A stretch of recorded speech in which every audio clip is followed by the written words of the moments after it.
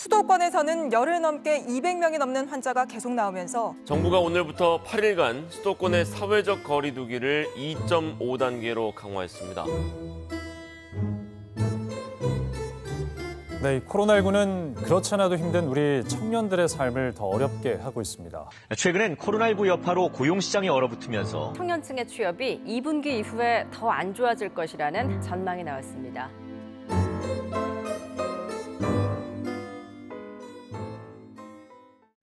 그래서 저희가 취업하실 수 있는 문을 알려드리겠습니다. 우리 사무관님이 취업의 문을 오늘 알려주시는 거죠? 어, 네, 청년들한테 도움이 될 만한 정책 좀 가지고 나왔습니다. 네. 청년 취업이 이렇게 어려운 상황이 지속되면 네. 아, 장기적으로도 굉장히 악영향이 좀 크겠네요. 우선 요 코로나19로 청년들의 미취업 기간이 길어지면 네, 아예 네. 구직을 좀 단념해 버릴 가능성이 있는데요. 그럼 이걸 돌파를 해야 될 거 아닙니까? 네, 네. 그래서 저희 고용부에서 두 네. 가지 좀 청년들한테 도움이 될 만한 일자리 사업을 좀 준비를 했는데요. 네. 첫 번째가 바로 신과 함께 취업 프로젝트 청년과 함께 오늘 특별한 시간 준비를 해봤습니다. 요즘에 코로나 사태 이후로 굉장히 많은 분들이 이제 취업에 어려움을 좀 겪고 있는데요. 그래서 저희가 취업하실 수 있는 문을 알려드리겠습니다. 문을 열어드리지 못하고 대신 문이 어디 있는지 그 길을 좀 알려드리도록 하겠습니다. 고용노동부 공정채용기반과의 이호준 사무관님 나오셨습니다. 어서 오십시오. 안녕하십니까? 네, 반갑습니다. 네.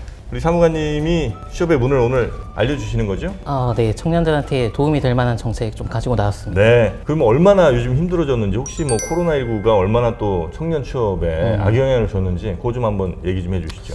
지금 코로나19 사태도 지금 대한민국 모든 분들이 힘든 상황이지만 네. 특히 청년들이 가장 힘든 상황이라고 저희는 보고 있고요. 이제 코로나19와 같은 위기가 발생했을 때 기업들은 기존 근로자를 감원하기보다는 음. 신규 채용을 줄이는 방향으로 대응을 하는 경향성이 높은데요. 네. 이제 그렇기 때문에 이런 위기가 청년들한테 가장 직접적으로 체감이 되는 것이죠. 음. 청년들의 일할 기회가 가장 빠르게 이제 감소하고 있는 상황입니다. 그러면 그런 청년 취업이 어렵다. 이게 네네. 수치상으로도 좀 나와 있습니까?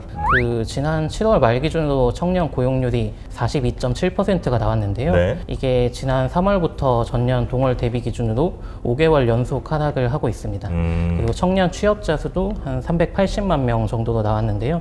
이것도 전년 동월 대비 기준으로 6개월 연속 좀 감소를 하고 있는 추세입니다. 자, 그러면 청년 취업이 이렇게 어려운 상황이 지속되면 네. 아, 장기적으로도 굉장히 악영향이 좀 크겠네요. 우선 요 코로나19로 청년들의 미취업 기간이 길어지면 네.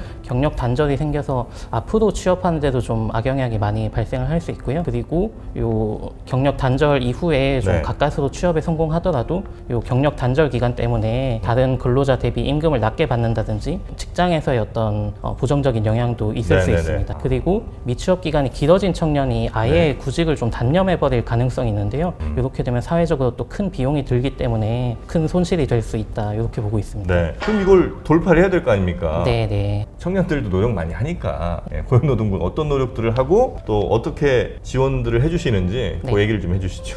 그래서 저희 고용부에서 이번에 3차 추경 사업으로 두 네. 가지 좀 청년들한테 도움이 될 만한 일자리 사업을 좀 준비를 했는데요. 네. 첫 번째가 바로 청년 디지털 일자리 사업입니다. 음. 이 청년 디지털 일자리 사업은 청년이 좀 IT 분야 실무 경험을 쌓을 수 있고 네. 기업도 좀 향후에 언택트 사회를 대비하는데 도움이 될 수 있는 그런 정책인데요. 네. IT 관련 직무에 청년을 채용한 중소 중견 기업에 월 최대 180만 원씩 어, 최대 6개월 동안 인건비를 좀 지원하는 사업입니다. 음. 기업에서 청년을 3개월 이상 계약직 또는 정규직으로 채용을 하고 그리고 주 15시간 이상 근무를 시키고 그리고 뭐 4대 보험 가입이나 최저임금 이상 지급 등 네. 어떤 기본적인 근로 조건을 준수를 해주시면 네. 저희가 이제 인건비 지원을 좀 해드리는 거죠. 어. 다만 이제 디지털 일자리 사업은 청년을 IT 관련 직무에 채용했을 때 네. 지원이 되기 때문에 어. 이 점을 이제 사업주분들께서 좀 유의를 해주시면 되겠습니다. 예를 들어서 저희 신과 함께해서 청년 분들을 채용을 해요. 예. 뭐 15세에서 뭐 34세 미만의 네. 청년분들 취업을 하면 이거 받을 수 있습니까? 그렇습니다. 예. 중소 중견 기업이면 해당이 되고요. 네. 그리고 IT 관련 직무에 채용을 한다 그러면 저희 사업 대상이 되겠습니다. 기업 자체가 IT 기업이어야 돼요? 아니면 그 기업은 상관없이 직종이 IT면 됩니까? 기업이 IT 기업일 필요는 없고요. 네. 다만 청년한테 시키는 직무가 뭐 음. IT 관련 직무이기만 하면 되겠습니다. 아, 근데 뭐 예를 들면 그냥 저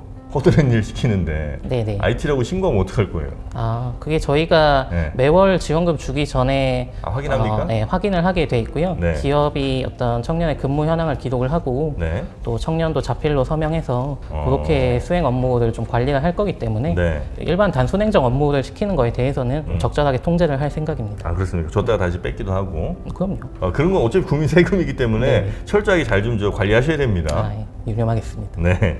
그리고 이제 청년들의 경우에 많은 경우 사실 네. 일자리 경험 자체가 없어서 네. 그러니까 맨 모든 기업들이 다 뭐 경력직만 뽑고 네네. 뭐 경력을 쌓으려면 일단 어딘가 취업을 해봤어야 될 거 아닙니까?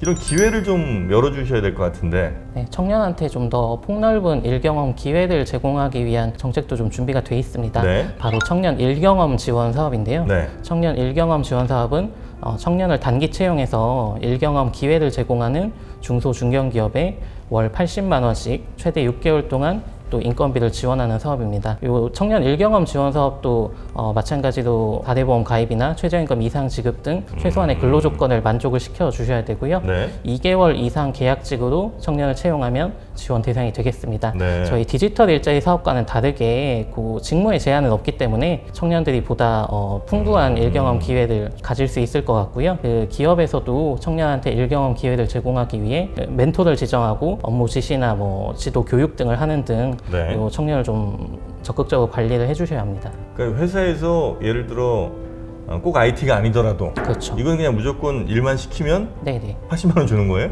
그 저희 지침에서 규정하는 좀 요건을 충족을 시켜 주셔야 되고요. 요건이 뭐예요? 최근 1개월 동안 뭐 인위적 감원이 없는 기업이어야 합니다. 아. 청년을 해고한 기업이 없는 기업이어야 하고요. 아, 해고했다 다시 뽑으면 안 되니까. 네, 네, 그렇죠. 그리고 뭐 어, 저희 공공기관이나 뭐 이런 인건비를 국가로부터 지원받는 기관도 네. 제외가 되고요. 뭐 고용보험료 음. 체납 기업이나 뭐 산업재해 발생 기업이나 좀 불미스러운 일이 있었던 기업도 좀 제외가 되겠습니다. 음. 네네. 네. 그럼 이제 이걸 하고 싶다. 네. 그러면 뭐 개인이 신청하는 건 아닌 것 같고 기업들이 이제 그렇습니다. 신청해야 될 텐데 네, 네. 어떻게 신청하면 됩니까? 우선은 기업에서 저희 청년 디지털 일자리 사업, 청년 일경험 지원 사업 홈페이지에 들어와서 참여 신청을 해주셔야 되고요. 네. 이게 주소가 저희 work.go.kr에 뉴스 잡으로 되어 있습니다. work.go.kr 네, W-O-R-K죠. 네네 그렇습니다. 그 요 네이버나 다음 같은 주요 포털 사이트에 저희 사업명을 검색하시면 음. 바로 갈 수 있게 저희가 링크를 달아놨기 때문에 네. 요 검색하셔서 들어오실 수도 있습니다. 음. 그리고 청년을 채용하시기 전에 반드시 네. 사업 참여 신청을 먼저 해주셔야 저희 지원 대상이 되기 때문에 요 점을 좀